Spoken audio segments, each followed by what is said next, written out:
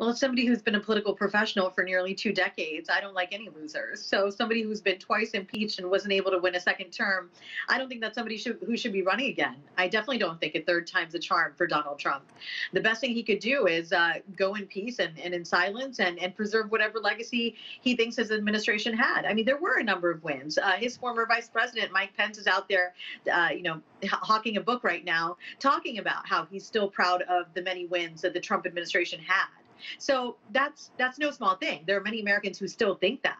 Would they vote for Trump again? That's the real question. I think there there's a real chance that Trump could emerge uh, victorious if the GOP primary field is crowded again. Mm-hmm. I think that's a real big problem for the Republican Party. Is that you've got all these people uh, like a Mike Pompeo, a new governor from Virginia like Glenn Youngkin. You've got former governor of South Carolina Nikki Haley. All these people are potential contenders.